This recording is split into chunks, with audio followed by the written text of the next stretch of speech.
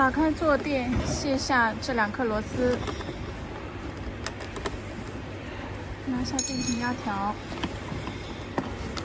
然后把电瓶盒子拿出来。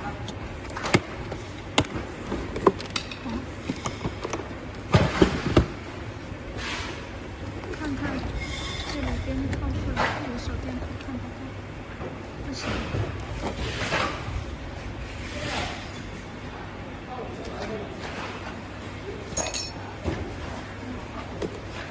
看一下呢，这里边。这里面有两个电机线，然后这个电机线的接着电机的那一端，你拉一下，轻轻的拉一下，看线有没有掉，或者说你打开的时候检查一下这个端子，这上面的这个线上面的